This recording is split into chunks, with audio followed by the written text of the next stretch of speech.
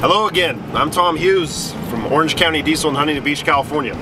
As I'm sure you've heard, California is now requiring diesel vehicles to get smogged. The second part of that smog test is the OBD system, or the onboard diagnostic. Vehicles that are showing any codes or have any engine lights on will not pass the smog test.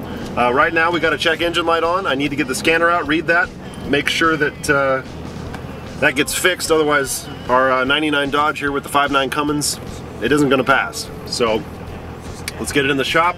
let's get that light turned off and uh, get any of those codes taken out of there. A pass or fail determination of the vehicle's computer is automatically performed by the emission inspection system. The test checks the vehicle's ability to communicate and the readiness of the vehicle's system monitors. The test also looks for diagnostic codes in the system and whether or not the check engine light is on. So our computer diagnostic portion of the smog test, uh, our 99 Dodge here actually uh, would fail. That check engine light we had on earlier, it ain't it ain't coming off. Uh, we have some stored codes in there. Uh, we can't clear them. Um, something's going on. We need to get uh, further inspection going and get it fixed. Um, Otherwise, we're not going to be able to register the truck.